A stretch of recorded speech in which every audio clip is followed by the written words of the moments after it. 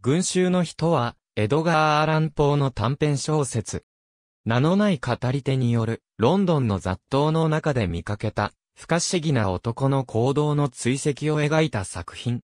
1840年12月に、バートンズ・ジェントルマンズ・マガジン最終号及び、アトキンソンズ・キャスケットに、同時期に掲載され、後に、物語集に収録された。ある秋の日暮れ、何ヶ月もかかった病気からの回復途上にある、語り手は、ロンドンの、とあるカフェに腰を下ろしている。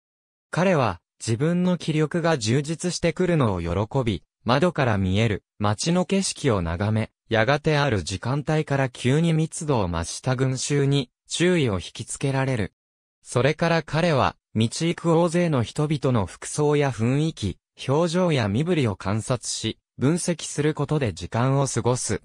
彼は人々をその様子からいくつかのタイプに分類し、また一人一人の身分や職業を推測していく。そうするうち、語り手はふとある、老いぼれた男に気づく。それは65歳か70歳くらいの男なのだが、彼の顔には、語り手が、それまでに見たことのないような奇妙な表情が浮かんでいた。背は低く、痩せていて、体は弱っており、服は汚れてボロボロなのだが、街灯の光で照らされると、生地自体は上等のものであった。語り手は、一体この男は何者なのかと強い興味を覚え、彼を追って店を飛び出し、尾行を始める。後を追ってみると、老人は人通りの多い道を行ったり来たりして何をするでもなく一時間も時間を潰し、やがて人通りが少なくなると、別のより人通りの多い道に移って、また行ったり来たりを繰り返している。そのようにして、市街を人混みから人混みへと通り抜け、人影のない場所では、老人とも思えぬような速さで駆け抜けるが、人の集まった場所では、安心した表情を見せる。そして市場を何も買わずに通り抜け、水管のたむろする、貧民窟にまで足を向け、やがて、ロンドンの都心部へと戻っていく。追跡は、日が昇っても続けられ、ついには、翌日の日暮れになってしまう。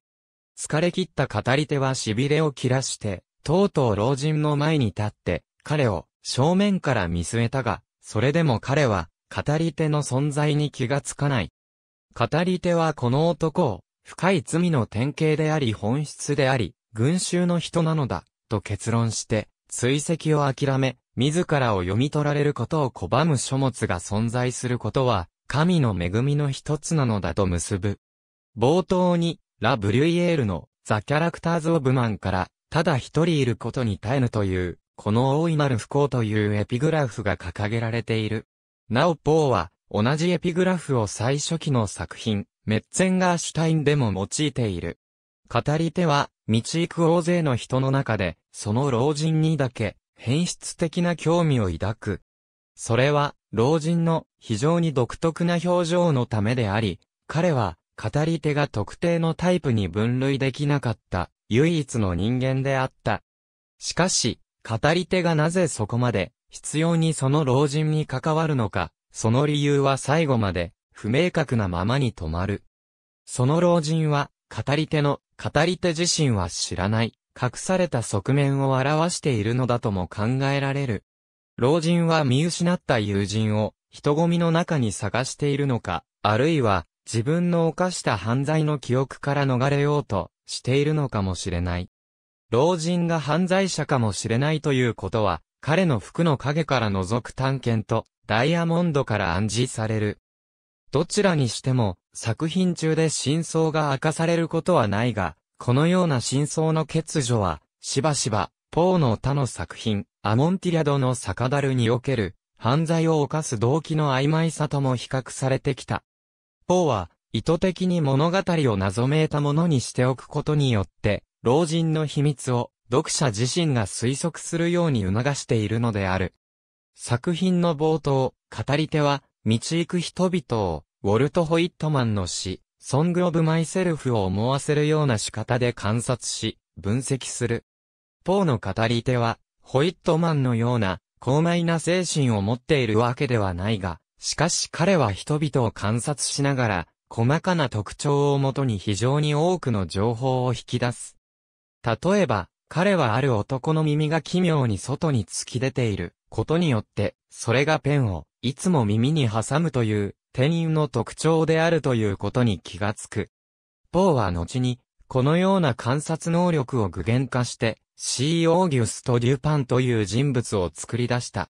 この作品の中では、数少ない明示的な情報であるロンドンという舞台設定は重要である。1840年当時、ロンドンは人口75万人を誇る世界最大の都市になっていた。ポーは少年期を養父らと共にロンドンで過ごした経験があるが、街中のディテールはディケンズの作品を参考にしていると思われる。この作品や他の作品によって、ポーは近代都市と非人格的な犯罪とを結びつけた。バルター・ベニヤミンは、ボードレールと第二帝世紀のパリにおいて、この作品を探偵小説からその衣装であるところの犯罪が抜け落ち、追跡という骨組みだけが残った探偵小説のレントゲン写真に例えた。笠井清は、このベンヤミンの解釈に触発され、群衆の人をモチーフにした長編小説、群衆の悪魔デューパン第4の事件を執筆した。日本語訳は、ポー小説全集に初集の中野義雄役及び辰巳、高幸役、モルグ街の殺人、小金虫を参照した。ありがとうございます。